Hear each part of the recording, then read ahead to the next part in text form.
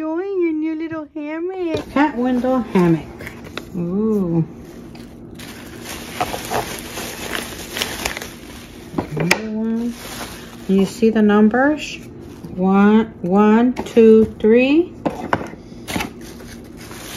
Oh, it has the tools that I need. Okay, that's easy. Oh, look at this.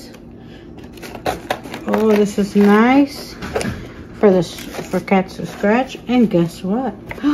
Look at this. Oh, you get to decide which one. You get two different options. This is very nice. Okay, let's get building. So now it should look like this on the one side. You have this, the one, and then this is what it looks like on the other side. So that's why you have this little tool.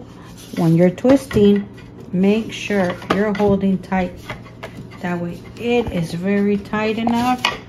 So that's step one, two, we're right here on number three. Now let's do number four, where we get to choose which one will we want.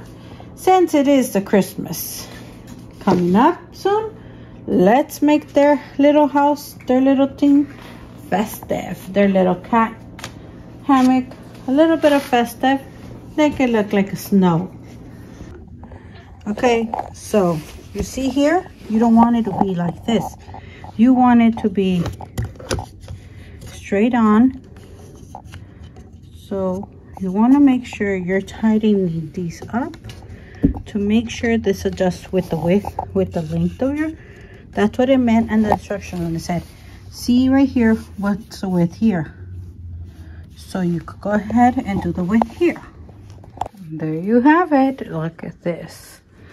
Okay, let's give it to one of my babies. So you see? Oh, she gets to be on the window.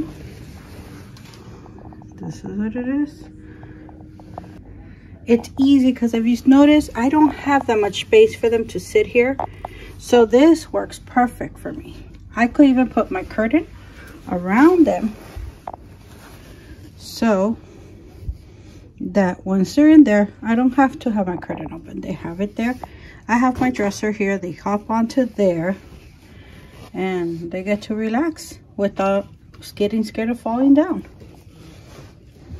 Right. Hi, Fifi.